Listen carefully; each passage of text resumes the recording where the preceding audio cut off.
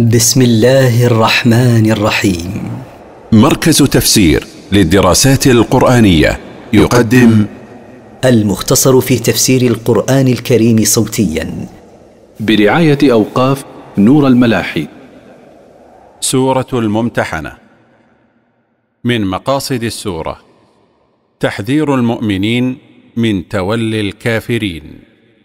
التفسير يا أيها الذين آمنوا لا تتخذوا عدوي وعدوكم أولياء تلقون إليهم بالمودة وقد كفروا وقد كفروا بما جاءكم من الحق يخرجون الرسول وإياكم أن تؤمنوا بالله ربكم إن كنتم خرجتم جهادا إن كنتم خرجتم جهادا في سبيلي وابتغاء مرضاتي. تسرون إليهم بالمودة وأنا أعلم بما أخفيتم وما أعلنتم ومن يفعله منكم فقد ضل سواء السبيل. يا أيها الذين آمنوا بالله وعملوا بما شرعه لهم لا تتخذوا أعدائي وأعداءكم أولياء توالونهم وتوادونهم وقد كفروا بما جاءكم على يد رسولكم من الدين يخرجون الرسول من داره ويخرجونكم أنتم كذلك من دياركم بمكة لا يراعون فيكم قرابة ولا رحما لا لشيء إلا أنكم آمنتم بالله ربكم. لا تفعلوا ذلك إن كنتم خرجتم لأجل الجهاد في سبيلي ومن أجل طلب مرضاتي. تسرون إليهم بأخبار المسلمين مودة لهم وأنا أعلم بما أخفيتم من ذلك وما أعلنتم لا يخفى علي شيء من ذلك ولا من غيره.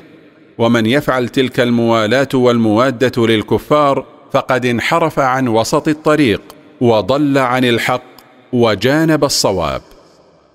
إن يثقفوكم يكونوا لكم أعداء ويبسطوا إليكم أيديهم وألسنتهم بالسوء وودوا لو تكفرون.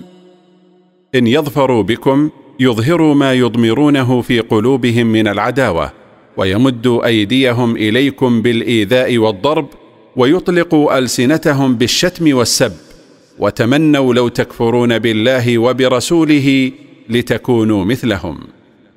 لن تنفعكم أرحامكم ولا أولادكم.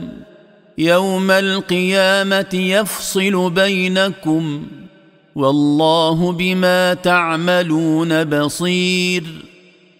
لن تنفعكم قرابتكم ولا أولادكم إذا واليتم الكفار من أجلهم.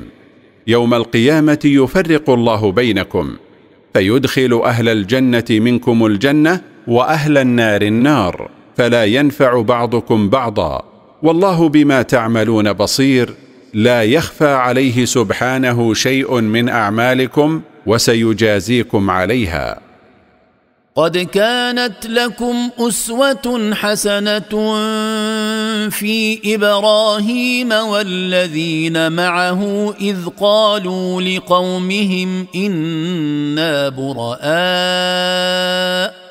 إذ قالوا لقومهم إنا براء منكم ومما تعبدون من دون الله كفرنا بكم ۖ كفرنا بكم وبدا بيننا وبينكم العداوة والبغضاء أبدا حتى تؤمنوا بالله وحده إلا قول إبراهيم لأبيه لأستغفرن لك وما أملك لك من الله من شيء ربنا عليك توكلنا وإليك أنبنا وإليك المصير. قد كان لكم أيها المؤمنون قدوة حسنة في إبراهيم عليه السلام والمؤمنين الذين كانوا معه حين قالوا لقومهم الكفار إنا بريئون منكم ومما تعبدون من دون الله من الأصنام كفرنا بما أنتم عليه من الدين وظهرت بيننا وبينكم العداوة والكراهية حتى تؤمنوا بالله وحده ولا تشركوا به أحدا. فكان عليكم أن تتبرأوا من قومكم الكفار مثلهم. إلا قول إبراهيم عليه السلام لأبيه لأطلبن المغفرة لك من الله فلا تتأسوا به فيه لأن هذا كان قبل يأس إبراهيم من أبيه. فليس لمؤمن أن يطلب المغفرة لمشرك ولست بدافع عنك من عذاب الله شيئا. ربنا عليك اعتمدنا في أمورنا كلها وإليك رجعنا تائبين وإليك المرجع يوم القيامة. ربنا لا تجعلنا فتنة للذين كفروا واغفر لنا ربنا. إنك أنت العزيز الحكيم. ربنا لا تصيرنا فتنة للذين كفروا بأن تسلطهم علينا فيقولوا لو كانوا على حق لما سلطنا عليهم. واغفر لنا ربنا ذنوبنا إنك أنت العزيز الذي لا يغلب. الحكيم في خلقك وشرعك وقدرك. لقد كان لكم فيهم أسوة حسنة لمن كان يرجو الله واليوم الآخر ومن يتول فإن الله هو الغني الحميد. هذه القدوة الحسنة إنما يتأسى بها من كان يرجو من الله الخير في الدنيا والآخرة. ومن يعرض عن هذه القدوة الحسنة فإن الله غني عن عباده لا يحتاج إلى طاعتهم وهو المحمود على كل حال. عسى الله أن يجعل بينكم وبين الذين عاديتم منهم مودة. والله قدير والله غفور رحيم. عسى الله أن يجعل بينكم أيها المؤمنون وبين الذين عاديتم من الكفار محبة بحيث يهديهم الله للإسلام فيكونون إخوة لكم في الدين. والله قدير يقدر أن يقلب قلوبهم إلى الإيمان. والله غفور لمن تاب من عباده رحيم بهم.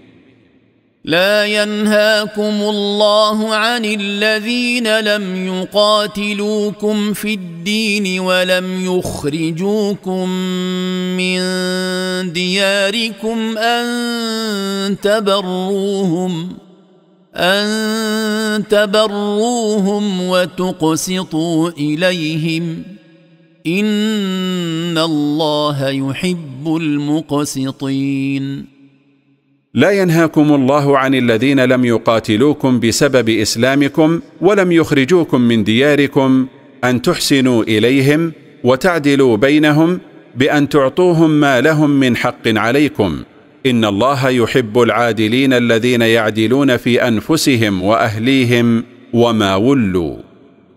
إنما ينهاكم الله عن الذين قاتلوكم في الدين وأخرجوكم من دياركم وأخرجوكم من دياركم وظاهروا على إخراجكم أن تولوهم ومن يتولهم فأولئك هم الظالمون.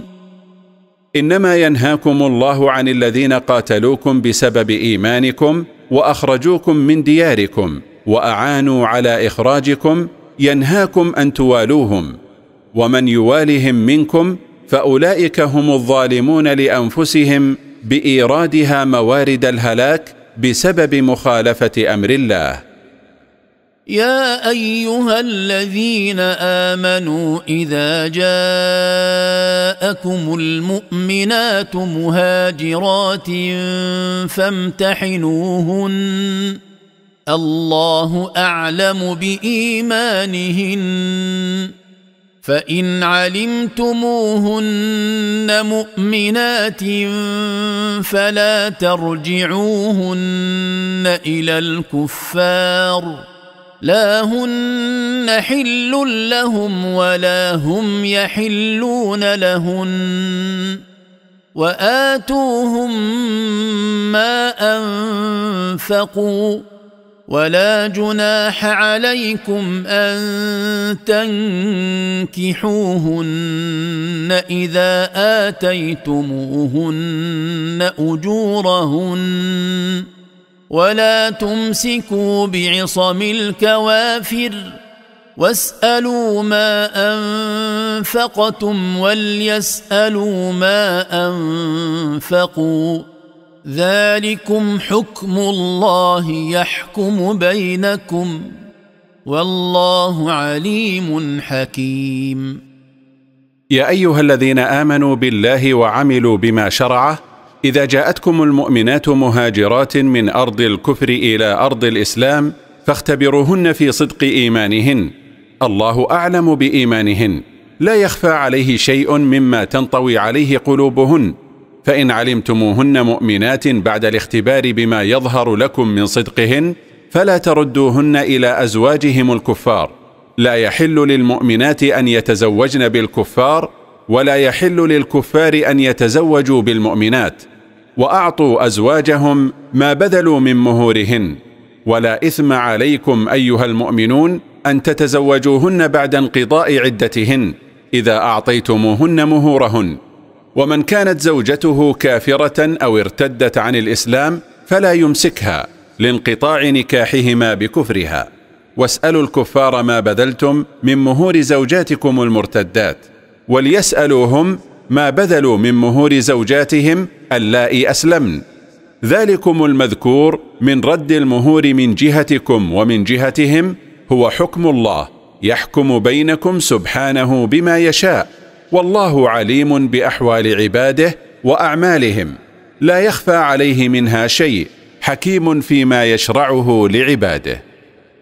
وان فاتكم شيء من ازواجكم إلى الكفار فعاقبتم فاتوا الذين ذهبت ازواجهم فآتوا الذين ذهبت أزواجهم مثل ما أنفقوا واتقوا الله الذي أنتم به مؤمنون. وإن فرض خروج بعض نسائكم إلى الكفار مرتدات وطلبتم مهورهن من الكفار ولم يعطوها فغنمتم من الكفار فأعطوا الأزواج الذين خرجت زوجاتهم مرتدات مثل ما بذلوا من المهور. واتقوا الله الذي أنتم به مؤمنون بامتثال أوامره واجتناب نواهيه. يا أيها النبي إذا جاءك المؤمنات يبايعنك على الا يشركن بالله شيئا ولا يسرقن ولا يزنين. ولا يزنين ولا يقتلن أولادهن ولا يأتين ببهتان يفترينه بين أيديهن وأرجلهن ولا يعصينك ولا يعصينك في معروف فبايعهن واستغفر لهن الله ان الله غفور رحيم يا ايها النبي اذا جاءك النساء المؤمنات يبايعنك مثل ما حدث في فتح مكه على الا يشركن بالله شيئا بل يعبدنه وحده ولا يسرقن ولا يزنين ولا يقتلن أولادهن جريا وراء عادة أهل الجاهلية ولا يلحقن بأزواجهن أولادهن من الزنا ولا يعصينك في معروف من مثل نهيه عن النياحة والحلق وشق الجيب فبايعهن واطلب لهن المغفرة من الله لذنوبهن بعد مبايعتهن لك إن الله غفور لمن تاب من عباده رحيم بهم. ولما بدأت السورة بالتحذير من موالاه أعداء الله اختتمت بالتحذير منها تاكيدا لما سبق. فقال تعالى يا أيها الذين آمنوا لا تتولوا قوما غضب الله عليهم قد يئسوا من الآخرة. قد يئسوا من الآخرة كما يئس الكفار من أصحاب القبور. يا أيها الذين آمنوا بالله وعملوا بما شرعه لهم لا تتولوا قوما غضب الله عليهم لا يوقنون بالآخرة بل هم يائسون منها مثل يأسهم من رجوع موتاهم إليهم لكفرهم بالبعث.